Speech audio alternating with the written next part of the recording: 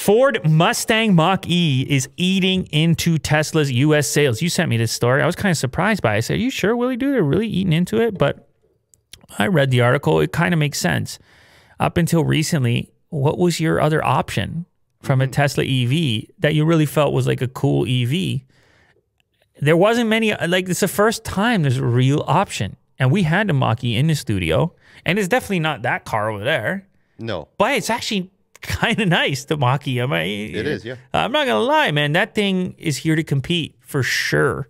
I uh, I was surprised by the fit and finish of it, quality that they put together, and uh, and the focus that they put onto it. Certain design decisions and the versatility of the vehicle. Somehow they made a thing almost look like a coupe, but meanwhile it's a four door small SUV. Mm -hmm. And look at is this Mo's B roll on here? Mo, did you shoot this B roll on the Mach E?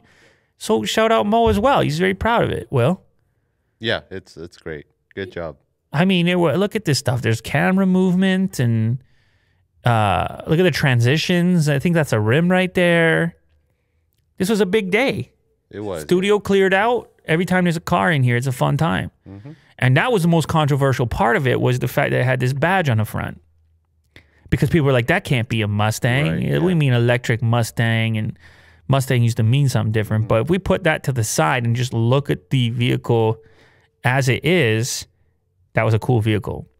Yes. And uh, so I'm not surprised that they gobbled up a little bit of market share from Tesla.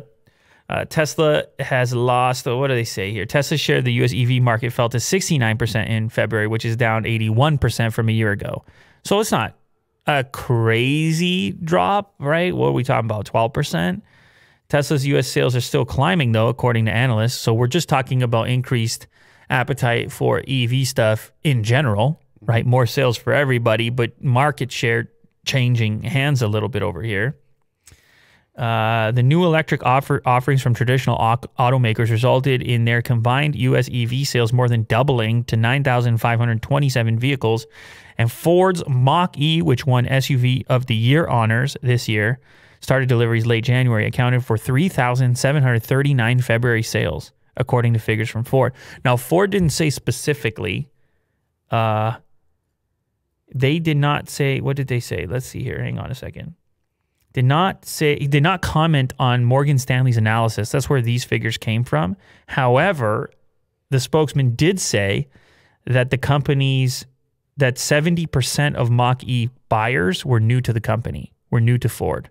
Oh. You follow me here? So they they could have been previous Tesla owners or some other automaker, but they were fresh buyers, which would seem to indicate that that market share may have shifted.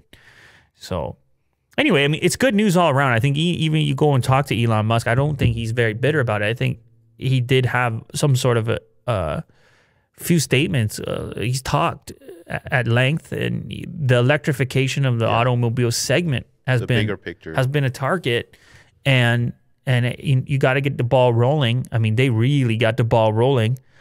Proved proved it was a thing that others should be doing, and then now look at look at us now. There's options that exist, and and for the record, 69% of the market share is still a, a healthy chunk for Tesla in February. And we'll see what happens. They start shipping the Cybertruck and continuing to build out their their uh, number of offerings. You know,